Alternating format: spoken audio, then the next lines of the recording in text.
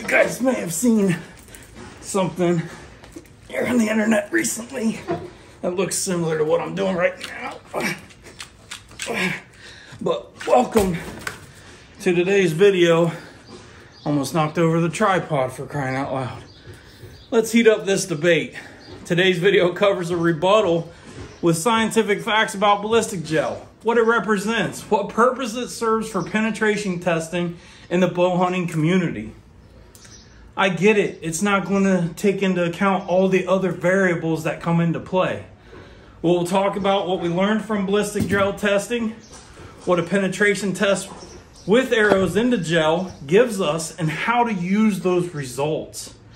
I will also cover some interesting facts in my rebuttal to RF's recent video.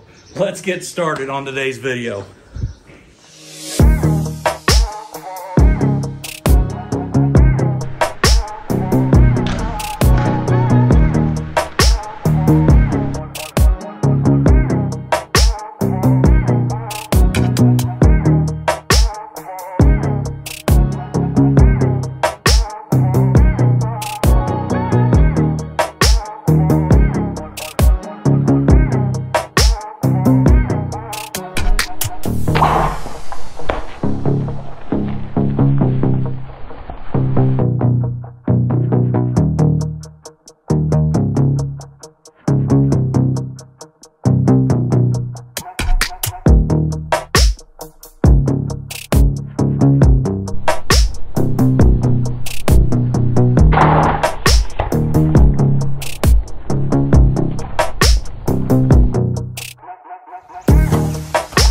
Really shocked about this test. So what we're gonna do is we're actually gonna shoot brand new, straight out of the package, 100 grain Rage Trypans out of the three arrows that went the furthest with the field point penetration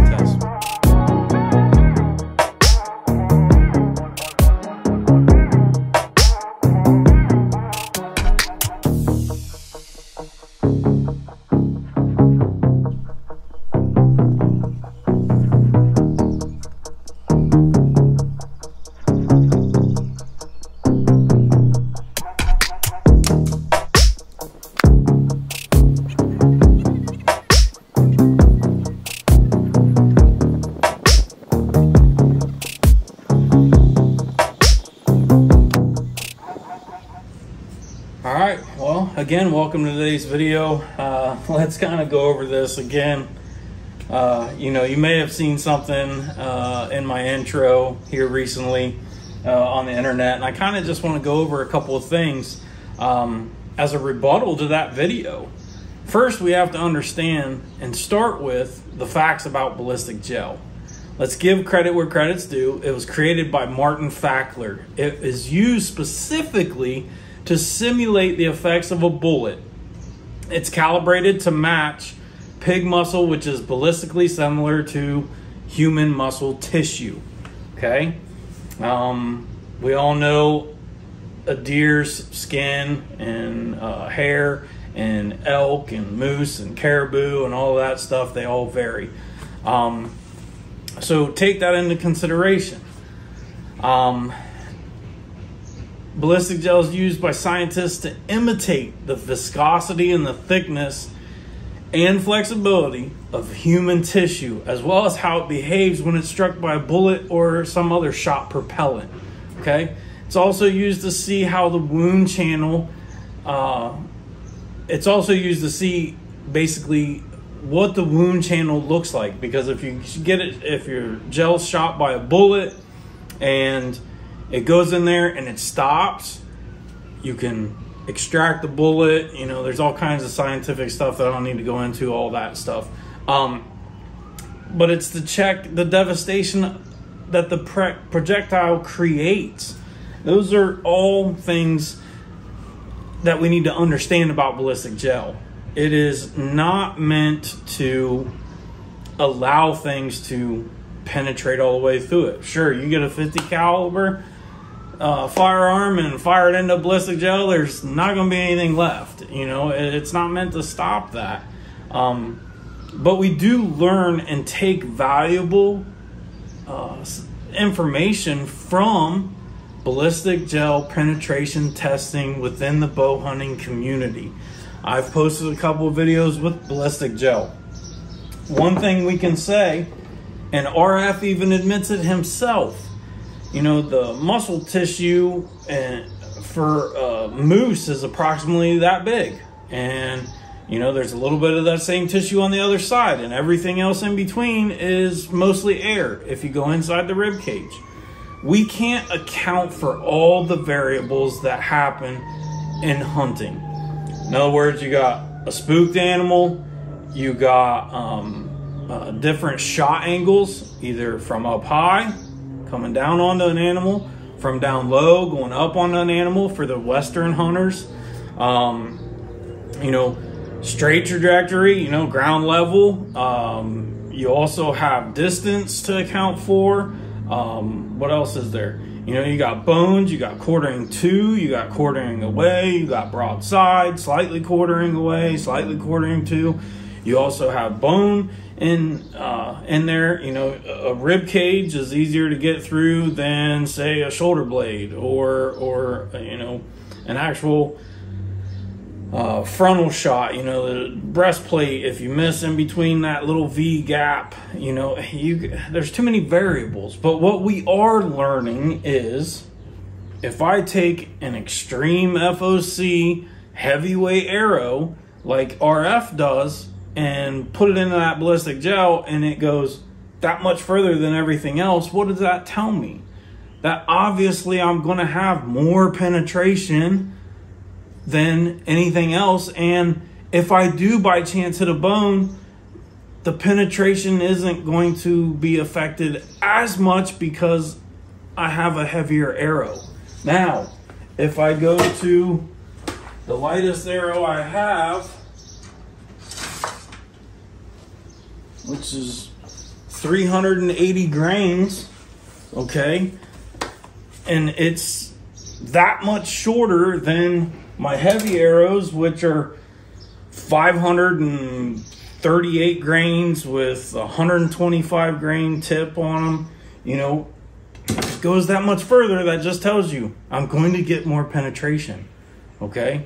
So the ballistic gel is, it's a valid test it doesn't account for all the variables, but it shows you if you have a straight broadside shot and you don't hit a rib, then guess what? You're going to get more penetration, right? I think that's what Ranch Fairy.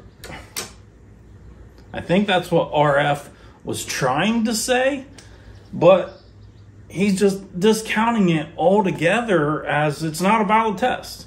What is a valid test? Because Let's look at this here.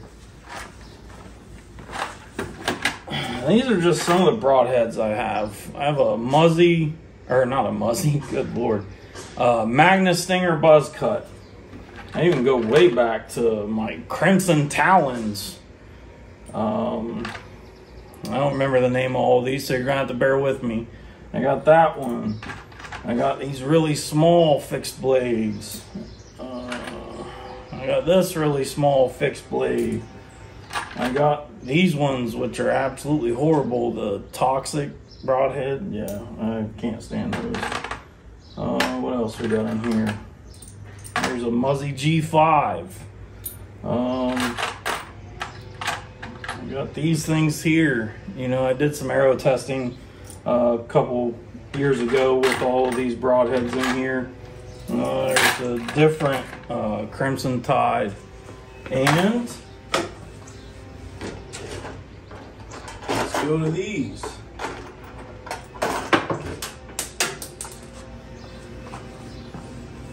Got this mechanical broadhead here.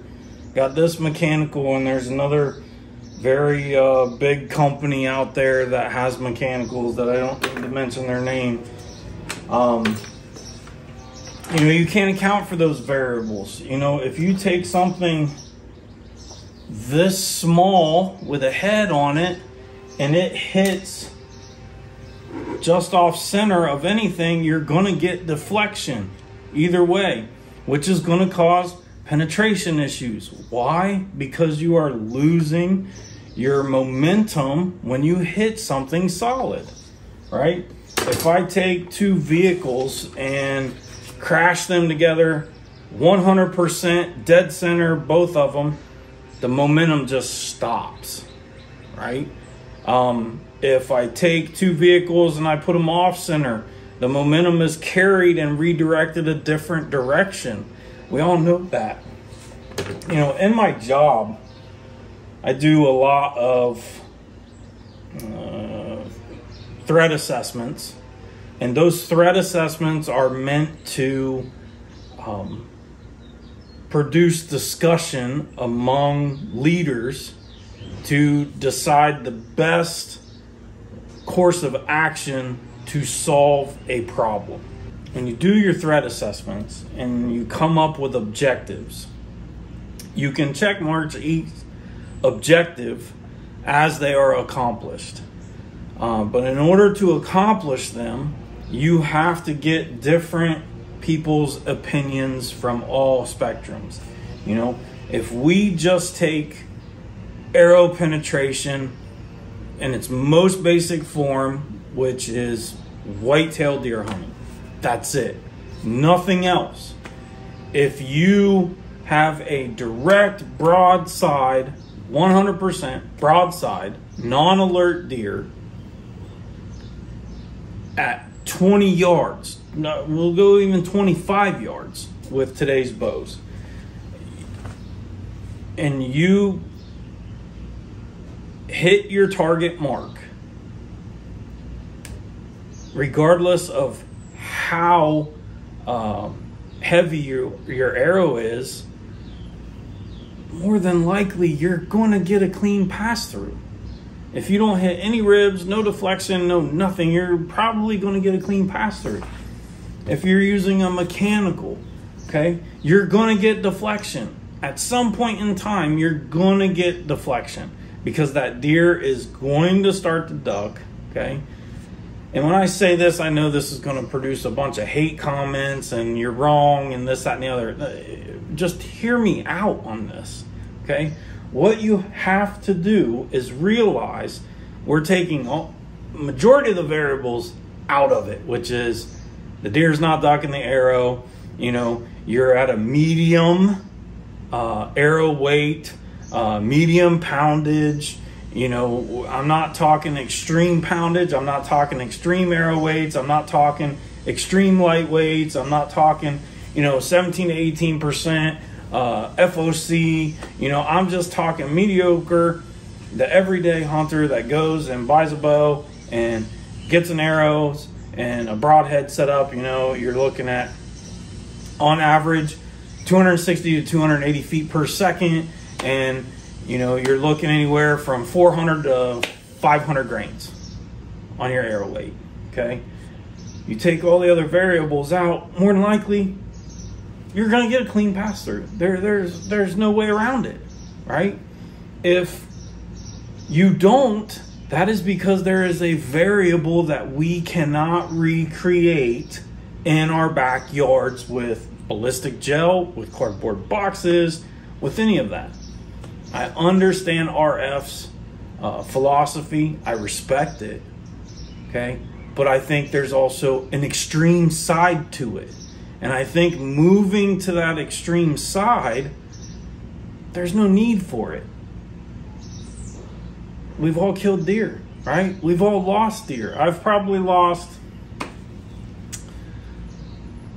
want to say, five out of the 20 some years that I've hunted.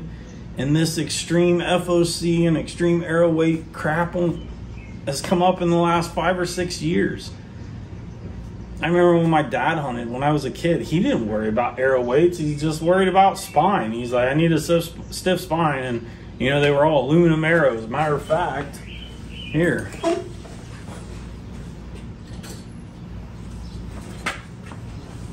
aluminum arrow. It's broke. Rocket broadhead, mechanical. So this is from way back in the day. I can't even tell you which rocket this is. You know, uh, we didn't worry about extreme weights. I don't even know what this arrow. Well, let's let's do that real quick. So obviously there's some of this arrow that is missing, I believe. Let's see if this matches up here. Actually, none of it's missing. So, obviously when I used this arrow, my draw weight hadn't, or uh, my draw length hasn't changed because, so this arrow with fletching, with the broadhead, comes in at 439.4 grains. Four, I'm gonna take the GoPro off of here just so you guys can see this.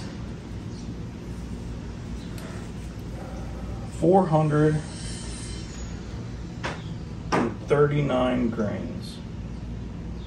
Do you see that? 439.2. And that was in the early 90s that I used that arrow. So if you're telling me something has dramatically changed from then until now, and it is not a coup to get these newer carbon ex- or not carbon express, but carbon arrows more money because they got to come up with new stuff every year that they put out an arrow. Okay, or it's not a ploy for Mathews. look how much they've changed over the years. They went from purely a solo cam bow to now two cams, right? Um, if they don't change something on the bow every single year, are you to buy a new bow? No. If they don't attempt to make it better or some new technology, remember when they used to have harmonic dampeners on both sides of the limbs? but now they say they don't need them. Why is that? Right? Um, it, it, it's it's it's just crazy, and we could go on about this for hours and upon hours. Here's the deal: Ballistic gel has its purpose with penetration testing, just as long as you understand what it is built for, what it is used for, and how to use it. It's that simple. Thanks for joining. If you have any questions, comments, please leave them up below. And until next time, Mike Wheeler's outside.